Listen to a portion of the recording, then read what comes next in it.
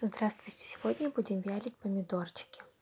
Берем помидоры сливки, нарезаем на половинки, выкладываем на противень. Выложили на противень и обмазываем маслом. Оливковым, подсолнечным, неважно. Посыпаем солью, специями. У меня прованские травы ароматные. И мелко нарубленным чесночком для аромата. Вот так вот сделали мы чесночком. И ставим в духовку при 80 градусах на 5-6 часов. Такие вот у меня получились помидорки через 6 часов. Где у меня были такие не сильно сочные, они получились просто прекрасные.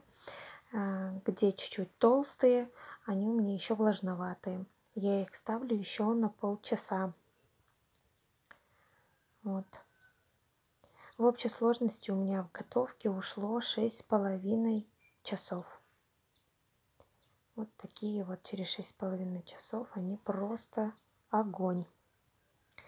Берем стерилизованные баночки и заполняем их нашими помидорками плотненько. Вот я их заполнила.